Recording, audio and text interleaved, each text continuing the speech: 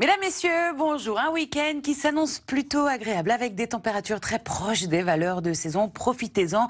Actuellement, nous sommes entre deux perturbations. Celle qui nous a concerné ces derniers jours, eh bien, s'évacue hors de nos frontières. Des conditions plutôt calmes avant l'arrivée d'une dépression qui va se mettre en place sur la péninsule ibérique. Alors, cet après-midi, on retrouvera quelques passages nuageux sans grande incidence dans l'Est avec quelques ondées possibles. Également, un ciel plus nébuleux ici le long des côtes de la Manche.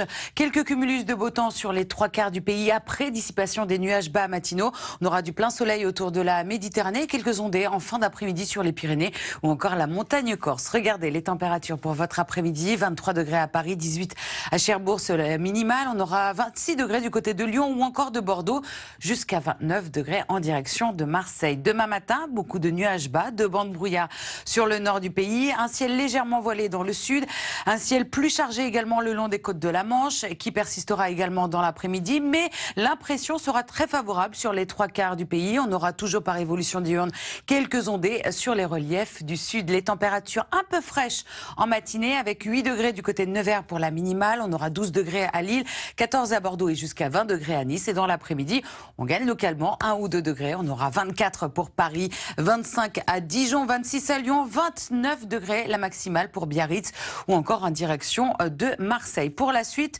hausse des températures pour lundi et à partir de mardi, arrivée euh, d'un temps un peu plus perturbé avec des valeurs de saison attendues sur pratiquement toute la France. Alors lundi, on attend une hausse des valeurs dans le sud-ouest. On peut atteindre localement euh, les 32 degrés. Ailleurs, eh bien, on restera au-dessus des moyennes de saison avec un voile nuageux qui va se mettre en place euh, par l'ouest.